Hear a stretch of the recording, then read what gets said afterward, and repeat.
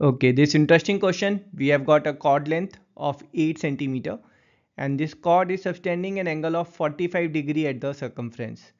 Exciting part is with this limited data we have to find radius of this circle. Before solving it, I'll suggest you pause the video and try out the question yourself.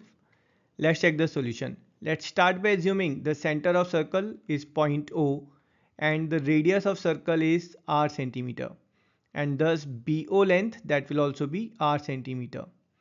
Now this AB chord it's subtending an angle of 45 degree at the circumference and by inscribed angle theorem it will subtend twice of 45 degree at the center. So 2 times of 45 is 90 degree. So at the center it will subtend an angle of 90 degree. Now in triangle OAB, applying Pythagoras theorem, we'll get base square plus perpendicular square is hypotenuse square. So this is 2 times of r square is 64, r square that's 32. Simplifying it we'll get r as 4 times of root 2 centimeter and that's our answer. I hope you enjoyed the solution. I will see you in next video. Till then, tata, bye bye.